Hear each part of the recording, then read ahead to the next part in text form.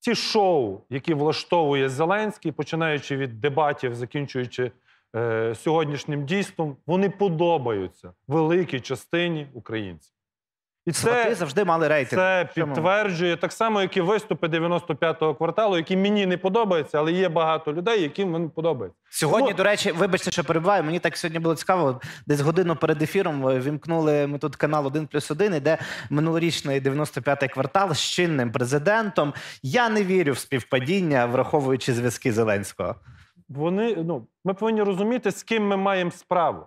Ми маємо справу з шоуменами найвищого гатунку. Але питання, чи можуть вони бути державниками, і чи є вони державниками. В мене величезні сумніви. Тому, коли влада чи там е, Порошенко пробує з ними боротися е, на тому полі, він завжди буде програвати. Він ж так хотів дебатів, пам'ятаєте? Влаштовував флешмоби, викликаю на дебати. Ну що отримав? Так само ті, хто недооцінює зараз Зеленського, думаючи, що це клоун, це дуже небезпечно. Тому що ми повинні розуміти, що все, що вони роблять з точки зору піару, є дуже ефективним. Тому що якщо ми будемо вважати, що це все просто так, ми тут всі самі розумні і переможемо, не так все легко буде, як нам з вами видається. У мене інше питання.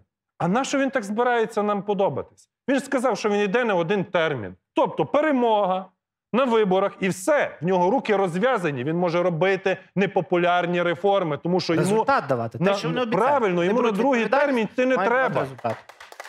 на що він хоче подобатися. І тут декілька, по суті, два варіанти відповіді.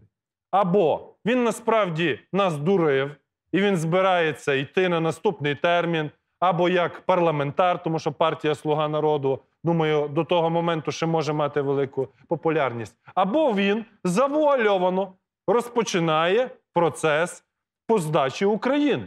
Спочатку відсутність параду, потім е, зменшення риторики військ- військової, потім розмивання різноманітних акцентів, підготовка ґрунту для капітуляції.